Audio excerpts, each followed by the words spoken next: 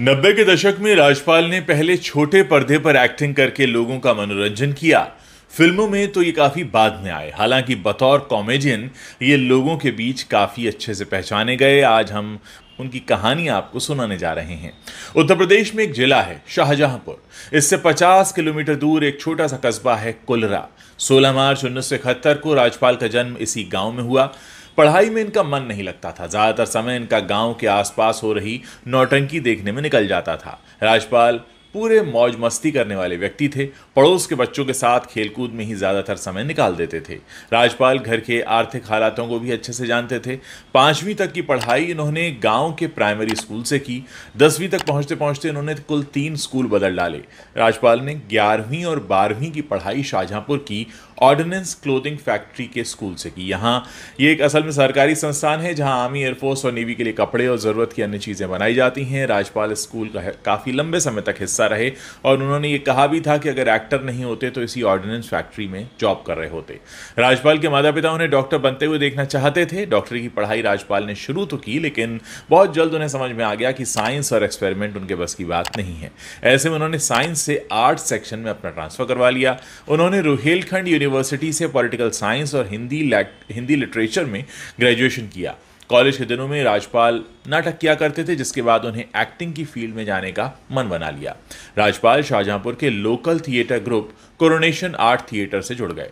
उन्नीस में राजपाल ने लखनऊ के भारतेंदु नाट्य अकेदमी से दो साल का एक्टिंग डिप्लोमा कोर्स किया। डिप्लोमा करके राजपाल दिल्ली के लिए रवाना हुए। उस जमाने में नेशनल स्कूल ऑफ़ ड्रामा एक लौता प्लेटफॉर्म था, जहाँ नए टैलेंट को जगह मिलती थी। राजपाल ने यहाँ तीन साल तक एक्टिंग की। साल उन्नीस में राजपाल पास आउट हुए और मुंबई के लिए जून महीने में रवाना हो गए। राजपाल को सबसे पहले सीरियल में काम करने का मौका मिला। सीरियल का नाम था स्वराज। पहली बार राजपाल ने शूटिंग सेट पर किसी डायरेक्टर के मुँह से एक्शन सुना था। इसके बाद वो नया दौर और मोहन दास में भी दिखाई दिए। नब्बे के दशक के शुरुआती दिनों में जाने माने डायरेक्टर प्रकाश झा ने एक सीरियल बनाया था, मुंगेरी लाल के हसीन सपने। इसी सीरियल का 10 साल बाद एक बार फिर से सीक्वल बन रहा था और इसमें राजपाल यादव को काम करने का मौका मिल गया। हालाँकि सीरियल में एक्टिंग करके राजपाल को कोई खास एक्सपोजर नहीं मिला। उसके बाद डेढ़ दो साल तक राजपाल ऐसे ही कुछ पाँच छः टीवी शोज़ में नज़र आए छोटे मोटे रोल्स करते रहे, लेकिन कुछ बड़ा नहीं हो रहा था। साल 1999 में डायरेक्टर प्रकाश झा, अजय देवगन, काजोल और महिमा चौधरी को लेकर फ़िल्म बना रहे थे दिल क्या करे। इसमें राजपाल को एक स्कूल वॉचमैन का रोल मिल गया। राजपाल के करियर की ये पहली फ़िल्म थी। इसी साल आफ्ताब शिवदासानी की डेब्यू फ़िल्म मस्त में भी वो नज़र आए, जहाँ उन्हें चपरासी के रोल में देखा गया। इसके बाद रामगोपाल वर्मा की फ़िल्म शूल में ये दिखे। एक कुली का रोल अदा किया, जिसने रातों रात इनकी किस्मत बदल दी। हालाँकि पहले तो राजपाल यादव ने इस रोल को करने से मना कर दिया था, पर बाद में रामगोपाल वर्मा के बहुत समझाने के बाद उन्होंने इसके लिए हामी भरी। इसके बाद राजपाल और रामगोपाल वर्मा ने एक साथ सत्रह फ़िल्मों में काम किया, जिनमें से जंगल राजपाल के करियर की एक तरह से कह सकते हैं टर्निंग पॉइंट फ़िल्म थी। जंगल में राजपाल ने एक नेगेटिव रोल निभाया था। इसके बाद राजपाल को, प्यार तूने क्या किया? चांदनी बार, कंपनी और हासिल जैसी फ़िल्मों में देखा गया। साल 2003 में एक फ़िल्म आई थी हंगामा। इसमें उन्होंने राजा नाम के लड़के का रोल निभाया। इस फ़िल्म के बाद राजपाल की दर्शकों के बीच एक नई पहचान बन गई। नेगेटिव और विलन की इमेज रखते हुए अब राजपाल खुद को कॉमेडी हीरो की तरह स्थापित करने में लगे हुए थे। फ़िल्म मेकर्स भी इनकी कॉमिक टाइमिंग्स को पसंद करने लगे थे। राजपाल को अच्छा पैसा भी मिल रहा था। बस तभी उन्होंने तय किया कि वो अब आगे अपने करियर में कॉमिक रोल्स ही करेंगे। 2006 में एक फ़िल्म आई चुप चुप के। इसमें उनकी बेस्ट परफॉर्मेंस रही। इस फ़िल्म में शाहिद कपूर, परेश रावल ओमपुरी करीना कपूर, सुनील शेट्टी जैसे बड़े एक्टर्स थे। और फिर भी इन सब के बीच लाइमलाइट जो थी वो राजपाल यादव लेकर गए। इनकी कॉमेडी की टाइमिंग ज़बरदस्त थी। आज अगर इस फ़िल्म को देखा जाता है तो शायद राजपाल की परफॉर्मेंस की वजह से ही। इसके बाद साल 2007 में एक फ़िल्म आई, भूल भुलैया। इसमें राजपाल ने छोटा पंडित का रोल अदा किया। पाँच फुट दो इंच के इस एक्टर ने इस रोल को निभाने में अपनी जान लगा दी। भूल भुलैया का रोल उनके लिए एक यादगार बन गया।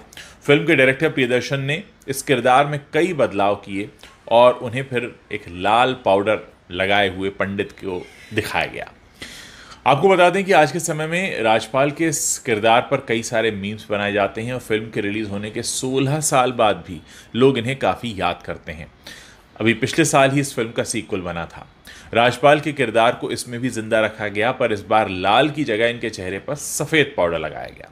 राजपाल ने एक इंटरव्यू में अपने इस किरदार पर कहा था कि मेरे जीवन का एक ऐसा कॉमिक कैरेक्टर रहा है, जिसे लोग खूब पसंद करते हैं और मुझे भी इस तरह के किरदार निभाने का अगर मौका मिलता रहे तो मैं खुद को भाग्यशाली समझूँगा। राजपाल यादव असल में हर उस व्यक्ति के लिए एक मिसाल की तरह हैं, जो छोटे शहरों में रहकर बड़े सपने देख रहा है। राजपाल यादव का चेहरा ये बताता है कि एक्टर बनने के लिए, फिल्मी दुनिया में छाने के लिए आपको कोई बहुत अच्छे फिजिक की या बहुत अच्छे लुक्स की ज़रूरत नहीं होती है।